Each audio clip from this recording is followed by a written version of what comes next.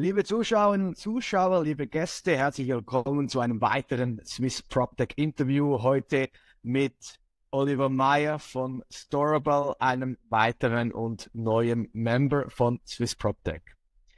Oliver ist ja an der HSG momentan noch gerade eingestiegen, kann man sagen, in die Welt der Immobilienbranche. Sein Team, das Team ist jung, dynamisch und voller Energien und sie haben die Absicht, die Lagerräume der Schweiz zu revolutionieren und zu digitalisieren. Wie das genau funktioniert, will uns Oliver jetzt gleich erzählen. Oliver, sag uns doch mal, wer Storable ist und welches Kernproblem ihr löst. Gerne. Merci Lars für die Einladung heute. Ähm, vom Kontext her, Storable ist die zentrale Plattform für Lagerplatz. Es geht darum, wenn du als, als Privatperson oder kleines KMU Lagerraum suchst, dann hast du momentan die Wahl zwischen Lagerräumen und Lagerboxen, also die ganze Self-Storage-Industrie. Die Lagerräume sind über x verschiedene Plattformen verteilt, die man alle durchforsten müsste. Und die Lagerboxen sind sogar verfügbar nur auf den Webseiten der jeweiligen Anbieter. Das heißt, wenn du Lagerplatz suchst und eine fundierte Entscheidung treffen willst, müsstest du alleine in der Schweiz über 50 Webseiten durchsuchen. Und in ganz Europa sieht die Situation ähnlich aus. Also es ist ein bisschen wie der, wie der Hotelmarkt vor, vor 20, 25 Jahren. Bei Storable kommst du auf die Plattform, gibst deine Adresse ein und siehst sofort, welche Lösungen es bei dir in der Nähe gibt. Sehr gut, eine klassische Plattformlösung, ein klassischer Plattformansatz für ein latentes Bedürfnis. Wieso seid ihr gerade jetzt auf dieses Problem gestoßen, respektive was hat das Nutzungspotenzial ähm, ausgelöst? Wir haben uns lustigerweise fast ein ganzes Jahr lang mit dem Lagerraummarkt der Schweiz auseinandergesetzt. Das mit dem Kontext, wir wollten Storable zuerst als Sharing-Plattform für ungenutzte Fläche aufbauen. Haben dann festgestellt, hey, mit dem Angebot geht das nicht ganz auf, ist nicht schnell genug, ist nicht günstig genug. Aber während der ganzen Markt Research während dieses Jahres haben wir festgestellt, wie mühsam das ist alleine für uns ist festzustellen, wo gibt es welchen Lagerplatz, und wie unterscheiden sich die einzelnen Angebote. Das heißt, in unserer eigenen Marktresearch für, für das andere Projekt haben wir festgestellt, hey, da gibt es ein Problem. Dieses Problem können wir lösen. Sehr gut. Und ich finde, also ich zumindest aus meiner Sicht habe äh, also für einen Markt, was noch nicht gesehen, verschiedene Self-Storage-Anbieter gibt es schon in der Schweiz auch aus dem Ausland, aber diese Lösung habe ich noch nie gesehen. Dann stelle ich mir jetzt also vor, in meinem, in meinem Mehrfamilienhaus habe ich dann künftig ähm, 50 Storable-Leute, die unten die Räume vermieten, oder das ist nicht so? Oder ähm, wie sieht eure Kernzielgruppe aus, respektive ähm, was für Vorteile wollt ihr mit diesen, äh, wollt ihr mit Storable ähm, euren Kunden ermöglichen? Ja, genau. Unsere Kunden sind eigentlich zweiseitig. Auf der einen Seite haben wir die Anbieter, ähm, wenn du ein Mehrfamilienhaus hast, das Ganze gehört dir, und dann sagen wir, nur die Hälfte davon will Kellerabteile, oder das macht einfach nur Sinn, und dann hast du unten in, deinem, in deiner Immobilie noch 50 Kellerabteile frei, diese könnten dann separat vermietet werden. Wir haben jetzt bereits große Immobilienanbieter, die Dispo-Räume haben und diese dann via uns vermieten wollen. Das ist die eine Seite der Anbieter habt ihr hier bei diesen äh, Räumen, habt ihr denn spezielle Zugangssysteme? Also, ja, wie, oder wie kommen die Leute da rein in die Gebäude? Das sind separate Schlüssel. Separate Schlüssel. Wie wenn dein Wohnungsschlüssel für die Haustür unten geht und die Wohnung und das Kellerabteil, hast du dann einfach Kellerabteil und die. Ah, okay, okay. Also da gibt es kein Problem. Okay, kein Problem mit Sicherheit oder so weiter. Das ist Überhaupt nicht. Okay. Und ein Großteil unserer Anbieter sind dann die, die Self-Storage-Boxen. Und die haben sowieso eigene Zugangssysteme, teilweise elektronisch, teilweise mit separatem Schlüssel. Da ist Sicherheit dann sowieso gewährleistet. Also die, die Mehrfamilien, die privaten Mehrfamilienhäuser ist ein kleiner Betrag, also kleiner Teil ähm, eurer Kundschaft. Ganz genau. Ein Großteil ist, wir machen es einfach zu finden, was für Self-Storage-Lösungen es gibt. Mhm. Und damit wir tatsächlich ein umfassendes Angebot, Angebot bieten können, zeigen wir, was für Lagerräume gibt es überhaupt. Sprich, wir haben dann wirklich flächendeckend überall ein Angebot. Mhm. Super, also gut, okay. Ich meine, der eine Vorteil liegt auf der Hand, oder? Ich habe ähm, ungenutzte Fläche, die wir Leerkosten äh, also wo Kosten entstehen, weil ich sie nicht nutzen kann. Also ich habe sicher finanzielle Vorteile, wenn ich eure Lösung nutze. Was habe ich weitere Vorteile, die entstehen? Ja, finanziell kann ich auch noch ergänzen, unser Pricing ist an der Performance orientiert. Ähm, sprich, wir verdienen, wenn wir einen finanziellen Mehrwert für unsere Partner schaffen. Der andere Vorteil für, für die Anbieter ist klar, du kannst dein Angebot den Leuten zeigen, die es tatsächlich brauchen. Bei uns sind die Leute, die effektiv Lagerplatz brauchen. Wir sehen auch jetzt bereits mit unseren Partnern die Conversion, die wir haben von den Leuten, die wir weiterleiten, ist signifikant höher als was du zum Beispiel hast, wenn du ähm, Google Google Wertung, Google Bewertungen schautest. Mhm. Außerdem können wir ziemlich cool zur Marken Awareness beitragen, weil wir haben teilweise Leute, die einfach wissen wollen, hey, was gibt es bei mir in der Nähe? Dann lernen sie dich kennen als Anbieter und buchen dann später. Mhm. Okay, sehr gut. Ähm, das ist doch, das klingt schon mal sehr, sehr spannend. Ähm, das heißt, die Nutzer sind aber weit, die Nutzer können Privatkunden sein, aber auch Geschäftskunden, die bei euch Lagerraum suchen. Genau, aktuell sind es vor allem Privatpersonen und kleinere KMUs, die wir mit dem Angebot abdecken können. Die Gewerbler haben wir klar im Auge. Ähm, da werden wir in naher Zukunft sicher ein Angebot aufbauen. Inwieweit wir den Fokus wegschiften von Privatpersonen und KMUs, das werden wir dann laufen sehen. Aktuell sind sicher Privatpersonen und kleinere KMUs bei uns am richtigen Ort. Es ist wieder einmal ein PropTech, das äh, auch ein B2C eine B2C-Komponente hat. Das sehen wir in der Regel nicht so oft. Ja, ja. ja. Jetzt, äh, ich habe gesagt, ihr habt ein Jahr geforscht, ähm, ja, zu Research betrieben. Jetzt seid ihr seit, ähm, wenn ich mich richtig erinnere, letzten Jahr auf dem Markt ungefähr, oder? Mit der ähm, aktuellen Lösung seit, seit Anfang Februar, ja. Seit Anfang Februar. Wie, ähm, wie wird die Lösung im Markt angenommen? Wie ist das Echo darauf? Gut, gut, also wirklich gut. Das macht, das macht wirklich Spaß. Wir haben jetzt seit, seit Februar ähm, circa 30 Prozent aller Self-Storage Locations bei uns auf die Plattform geholt als Partner. Ähm, da Tendenz stark steigend. Wir haben auch extrem positives Feedback von den ganzen Immobilienverwaltern oder Besitzern erhalten, die, die da großflächig für alle ihre Objekte äh, etwas ausschreiben wollten. Wir starten jetzt in naher Zukunft ein Pilotprojekt mit einer sehr, sehr großen Verwalter, damit, da, damit wir da die einzelnen Räume ausschreiben können. Äh, zusätzlich, wir hatten auch positives Feedback von anderen Plattformen im Bereich von Zusammenarbeit. Also es macht wirklich Spaß momentan. Es ist sehr cool zu sehen, wie das Ganze so schnell wächst. Schön, schön zu sehen, wenn es läuft. Schön zu sehen, dass eine neue Innovation im Markt so gut ankommt. Jetzt ähm, kann es ja nicht immer rosig sein. Wir wissen das alles. Es gibt auch Tage, wo es äh, regnet. Wie, was sind die Hemmnisse? Wieso funktioniert es nicht? Was sind die Gründe, wieso die Leute sagen, nein, kein Interesse oder nein, möchte nicht mit euch zusammenarbeiten? Die häufigste Antwort, die wir da kriegen, ist, hey, wir sind voll. Es ist äh, effektiv so, die Nachfrage nach diesen Lagerboxen ist teilweise extrem groß, ist mega spannend. Äh, und für uns natürlich jemanden auszuschreiben, der voll ist und Leads weiterzugeben, für jemanden, der gar kein Angebot mehr hat, das macht nur bedingt Sinn. Da haben wir auch volles Verständnis. In dem Bereich sind wir gerade am entwickeln. Wie können wir dir trotzdem helfen, wenn du voll bist? Ja, und da sind wir jetzt am überlegen, machen wir eine eine E-Mail-Liste, dass die Leute informiert werden, wenn wieder etwas frei ist.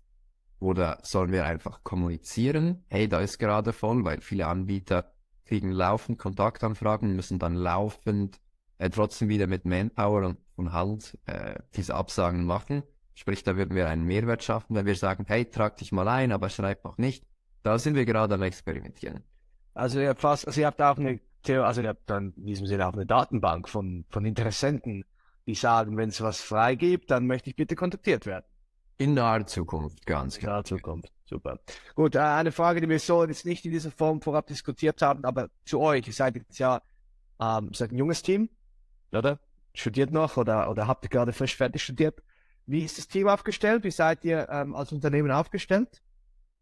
Ja, wir sind zu viert und äh, die Zusammenarbeit macht mega Spaß. Also das Projekt, okay. das ich vorher erwähnt habe, dieses, diese Sharing-Plattform, die haben wir schon zu viert ähm, zusammen aufgebaut.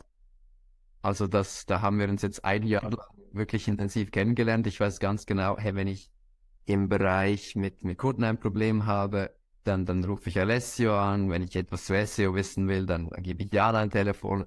Sprich, wir konnten uns jetzt wirklich über dieses Jahr als Team finden. Und okay. so ein ganzes Jahr, du machst natürlich viele Höhen durch, du machst viele Tiefs gemeinsam durch.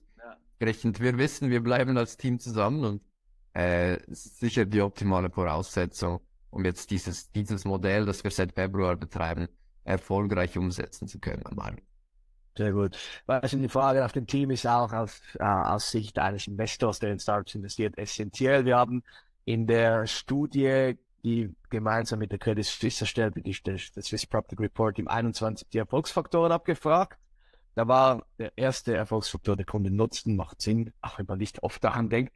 Die zweite nutzen das Team und die dritte nutzen die Skalierbarkeit, oder? Das Team muss stimmen, damit es weitergeht. Und ihr seid ja jetzt gerade noch im Abschluss einer Finanzierungsrunde. Äh, wenige Tickets sind noch vorhanden. Erzähl mir kurz dazu was und dann sagen wir vor allem auch, wie die Roadmap von Storable aussieht, kurz-, mittel- und langfristig. Ja, sehr gerne. Äh, aktuell sind wir effektiv im Endspurt unserer Finanzierungsrunde. Wir, wir brauchen 300.000 Franken. Mit dem Geld können wir unseren Service in der ganzen Schweiz etablieren und bereits erste Expansionen im, im Dachraum vornehmen. Da können wir sogar über die Landesgrenzen hinaus. Und davon haben wir jetzt schon 75.000 fix committed. Wir finden uns in der Due Diligence über weitere 175.000. Sprich, es geht jetzt äh, uns vor allem darum, die letzten paar Tickets, die letzten paar Tickets so smart wie möglich füllen zu können. Dass wir wirklich Leute ins Boot holen können, die uns helfen, diesen Service dann weiterzubringen. Und bezüglich Roadmap ist klar, das Ganze wollen wir in der Schweiz etablieren dann, wir haben die klare Vision, äh, Storable Europa. Sprich, wir, wir sehen den Markt nicht für diese Plattform in ganz Europa. Und wenn wir dann noch einen Schritt weiter denken, was wir zum Beispiel in den USA gesehen haben, da auch gleich entstanden Plattform zuerst und dann immer mehr Services auch für die Anbieter. Also am Schluss entwickelt sich diese Plattform in Richtung End-to-End-Lösung am ganzen Markt für Lagerplatz. Dann können wir nicht nur in diese Richtung wachsen, dann können wir auch noch wachsen durch das, dass wir das Angebot erweitern. Zum Beispiel jetzt haben wir Lagerräume und Lagerboxen. Die Lösung, die wir anbieten, sollte auch anwendbar sein auf zum Beispiel Lager für Wohnmobile, Lager für Boote, Archivlösungen, bis zu einem gewissen Grad dann auch Logistikdienstleistungen. Sprich, wir können in sehr viele Richtungen und vor allem auch geografisch das Ganze skalieren. Und äh, also diese Vision macht uns auch als Team extrem viel Spaß, wenn wir sehen, hey, es gibt so viele Wachstumschancen. Mit Blick in die USA, das hat da super funktioniert. Die Anbieter, die das so gemacht haben, das sind da riesig. Entsprechend mega exciting, dass es in Europa das Ganze so noch nicht gibt. Und äh, für uns als Riesenchance. Also very excited to do that. Sehr gut. Und man spürt den Hunger und man spürt die Lust, der die er den Tag legt. Ähm, kurze Anschlussfrage jetzt gerade zu, zu möglichen Expansionsplänen in den nächsten Jahren. Habt ihr das Potenzial in der, sagen wir mal, im Dachraum in Europa schon äh, geprüft, abgeschätzt? Sind wir laufend dran. Wir wissen zum Beispiel, dass circa 51 Prozent der Anbieter im ganzen Dachraum haben wenige Standorte und sind technisch nicht super versiert. Mhm. Sprich, äh, unser System könnte tatsächlich verwendet werden, um die Boxen sogar zu verwalten. Wir würden da eine, teilweise eine Excel-Liste ersetzen. Und dann machen wir so Online-Buchungen möglich. Also extrem spannend, wie wir uns da bewegen können. Wir wissen, es gibt noch keine äh, Plattform, die ein umfassendes Angebot hat in ganz Europa. Entsprechend deren Need ist sicher da. Bis zu welchem Grad die Leute das Ganze dann akzeptieren wollen, klären wir gerade ab. Also wir sind äh, buchstäblich mitten in der Marktforschung, machen Telefone nach Deutschland, fragen die kleinen Anbieter da, hey, würdet ihr das Ganze so nutzen? Klären mit den Großanbietern ab, würdet ihr das Ganze so nutzen? Ähm, dann, wir haben unser Auge auch auf den anderen europäischen Märkten. Holland, Holland spannenderweise zum Beispiel sehr spannend mit Self-Storage. UK natürlich der größte Markt in ganz Europa. Entsprechend, wir wissen, wo welches Potenzial da ist und haben klar eine, um genau zu sein, sechs definierte Hypothesen, die wir gerade über. Ja, ja, gut. Okay, also wir werden uns sicherlich äh, eure Reise genau anschauen und äh, uns wundern und fragen und wollen hoffen, dass äh, die Reise erfolgreich wird. Gut, äh, ihr seid äh, kürzlich SysPropTech-Mitglied geworden. Ähm, und jetzt äh, möchte ich Sie noch bitten, sagen mir, wieso er Swiss PropTech Mitglied geworden seid, was ihr hofft äh, und was ihr auch sucht bei Swiss PropTech. Es macht Sinn. Wir sind beigetreten, weil wir verstehen uns als PropTech. Es war immer ein bisschen die Frage, in welcher Branche seid ihr? Sind wir in der Lagerbranche? Sind wir in der Immobilienbranche? Sind wir in der einzig Plattform, Tech-Branche? Aber am Schluss, wir bringen Innovation und Technologie in den Immobilienmarkt. Und Immobilien dann nochmal nischiger in den explizit Lagerraum Immobilienmarkt. Und äh, die Hypothese war da, hey, Swiss PropTech, da sind wir am richtigen Ort. Potenziell können wir da Partner finden, aber auch Guidance. Guidance von Leuten, die erfahrener sind oder Leute, die bereits erfolgreich in PropTech aufgebaut haben. Und coolerweise, die Hypothese hat sich effektiv bestätigt. Ähm, Lars, wir haben uns ja persönlich am Event in Zürich noch kennengelernt, nachdem wir telefoniert haben. Und an dem Event selbst äh, konnte ich super Kontakte knüpfen. Also es war genial, wie offen die Member des Verbands waren, um auch Zusammenarbeiten mit uns zu besprechen. Ich hatte bereits das erste Follow-up mit jemandem, mit dem ich da am Event gesprochen habe. Und wir sind jetzt in der Finalisierung der Zusammenarbeit in dem Bereich. Also für uns geniale Chance, mit großen Playern zusammenarbeiten zu können. Sehr gut. Ein Bilderbuch-Case, uh, das freut uns natürlich hervorragend und das freut uns ganz fest, dass die Vernetzung, die wir uns wünschen für unsere Mitglieder und die wir predigen, in diesem Fall sehr gut funktioniert hat. Gut, lieber Oliver, ich danke dir für deine Rede und Antwort von meinen Fragen. Ich danke dir auch, dass ihr bei uns mit dabei seid.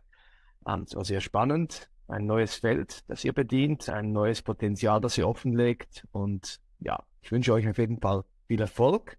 Freue mich sehr auf den nächsten Event mit euch in Zürich oder wo wir dann sind. Und Ihnen, liebe Gäste, liebe Zuschauerinnen und Zuschauer, möchte ich danken, dass Sie uns heute zugehört haben. Ich möchte Sie auffordern, wenn Sie das Thema interessiert, mit dem Team von Storable in Kontakt zu treten. Vielleicht für ein Investment, vielleicht für eine Zusammenarbeit.